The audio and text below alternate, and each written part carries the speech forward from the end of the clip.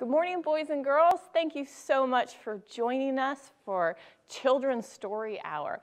I'm so glad every week when I see videos and pictures of you all watching and singing along, and you guys do such a great job.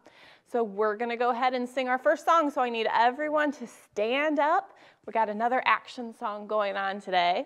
This one is called I've Got Peace Like a River. So Hopefully I can remember all the motions and I don't fall over while I do all these crazy actions. All right, is everyone ready to sing with me?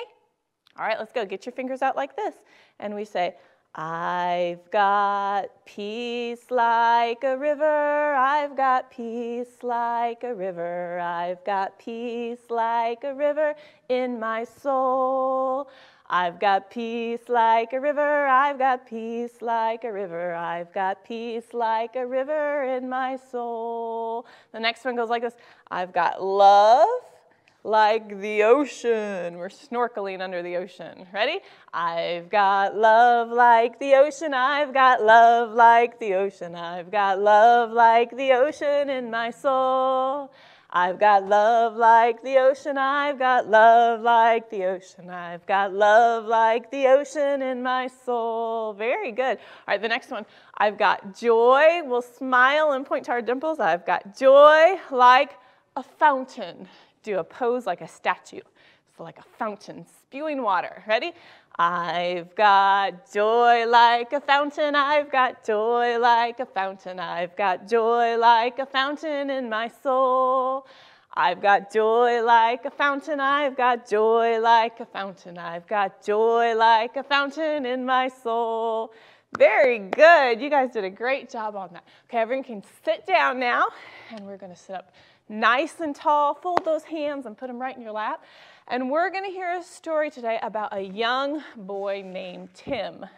And the title of our story is Tim's Temper. Do you know what a temper is? A temper is when you get mad really quick and maybe you yell a lot or maybe you fight or maybe you do angry things or you throw things and that's never pleasing to God. So we're going to listen to a story about a boy named Tim and we're going to hear all about Tim's temper. Let me show you a picture of Tim. This is Tim right here. This is the story of Tim. He had opened his heart to the Lord Jesus and wanted to live to please him, but Tim had one bad fault. He just could not control his temper. He would get mad so quickly that sometimes it even surprised him. He did try so hard to overcome this bad habit. He knew the Lord Jesus wasn't happy when he acted badly. Well, Tim's mother had to go away for a few weeks, so she left Tim with his grandma. Oh, this was such a treat for Tim because he loved his grandma. And you boys know how grandmas are, don't you? They seem to think their grandchildren can do no wrong, don't they? Well, Tim's grandma was just that way, and she thought he was such a wonderful young boy. Grandma knew nothing about Tim's bad temper, and Tim decided she would never, never find out about it either. He wanted to keep that part a secret, not let Grandma know just how angry he got. Now, Tim, Grandma would say, we have a few things that must be done each day. You need to dry the dishes and feed the chickens. Surely that would be fun, wouldn't it? And sweep the walk for me. And each day, Tim would see how helpful he would be. He would dry the dishes, he would feed the chickens, and he swept the walk each and every evening. Tim was a pretty good boy when it came down to that. He and grandmother would read the Bible together and talk about some exciting story from God's Word, and then they would pray right before Tim went to bed. Grandma hadn't discovered that Tim ever lost his temper or said bad words or got into fights. One day, as Tim and his best friend Jim went walking home from school, Tim tripped over a stone that he hadn't seen and fell down. As if it weren't embarrassing enough falling down in front of all your friends. This was just too much. Uh oh, something happened, and we know he's got a temper his friend Jim just threw his head back and laughed and laughed and laughed at him, and tear, tears were rolling down his cheeks. Well, this was very rude and unkind of his friend. You should never laugh when someone gets hurt or gets embarrassed. It wasn't kind. But before Tim knew it, he was boiling mad. He picked himself up from off the ground and swung at Jim, and they began to fight and punch and roll all over the school ground. Well, who do you think came along just then? You guessed it. Grandma was walking home, and when she saw those boys and realized it was Tim, she was absolutely shocked. She didn't know he had a temper. She separated the two angry boys and said, What is the meaning of this, Tim? He laughed at me, shouted Tim at her. Well, he didn't have to get mad, growled Jim. You better go home, Tim, said Grandma. Tim was ashamed of himself. He couldn't look at Grandma or Jim, and when Grandma came home, she had a talk with Tim. I'm sorry you got angry over such a little thing. You must surely have a very bad temper. Tim was sorry Grandma had found it out, and he told her how he had tried to watch himself and had tried to keep from getting mad and tried to keep from fighting, and how much he needed help. But Tim, Grandma said, you do have help. And then she opened her Bible and read Romans 8:14. For as many are as led by the Spirit of God. They are the sons of God. And she explained to Tim that since he was saved, he had the Holy Spirit living inside of him, and the Holy Spirit was there to help him and to lead him to do what's right.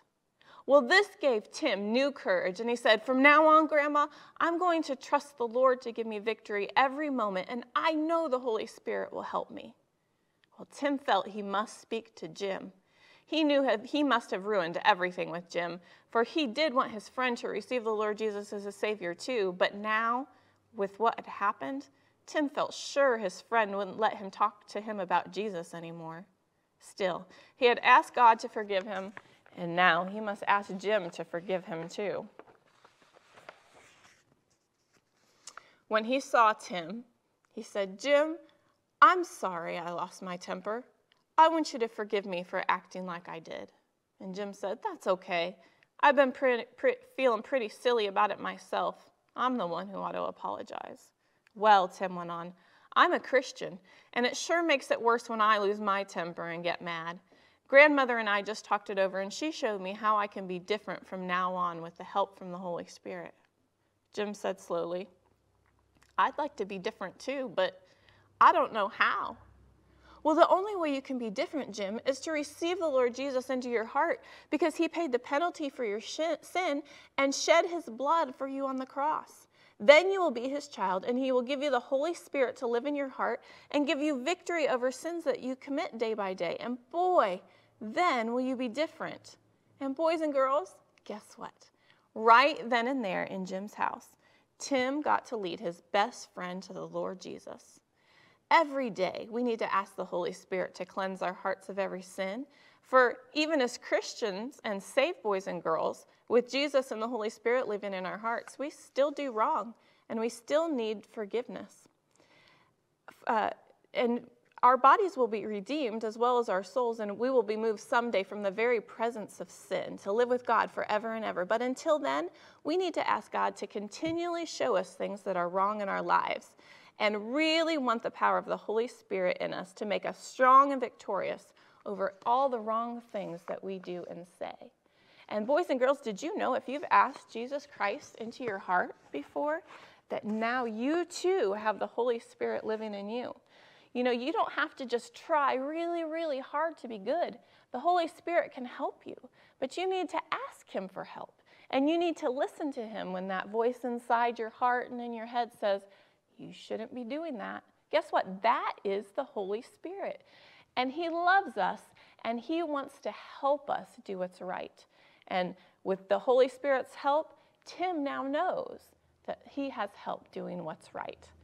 So that's what our verse is going to be about today. The same verse Tim's grandma gave him, we're going to learn. But first, we're going to do our drawing for last week's Bible verse. And I have a whole list of people who said their verse Aiden and Simon and KJ. I saw Sierra and Kylie. Carter Womack, good job. And Lorelai, that was very cute. Brianna and Rocco and Bruce, good job on saying your verse. And I have put all your names into my M&M jar. And one of you will be getting a special gift in the mail today. Now, Amazon is running super, super slow. So Haley, your gift is still coming. It's gonna get there sometime this week. So hopefully it'll get there by Saturday for this new drawing, but we will see. If it takes a little bit of a week, that's because Amazon's running real slow, but it'll get there. So the winner that's gonna get Happy Mail for saying their verse this week is Kylie, good job, Kylie. You've done a very good job. I think you've said it almost every week. And uh, we'll get some happy mail coming to your house uh, today. Well, it'll come sometime, hopefully this week or early next week. The verse we're going to learn for this week, if we want to try it again, if you want your name in that drawing and for a chance to get some fun mail coming to your house, is Romans 8 14. And it says, this is the verse that Tim's grandma gave him for as many are as led by the Spirit of God, they are the sons of God. For as many are as led by the Spirit of God, they are the sons of God, because you are God's child, and He will always lead you by His Spirit. Remember that this week and, and trust in Him to help you obey and do what's right. Thank you for listening. So good. I hope you guys have a great week, and I'll see you next week.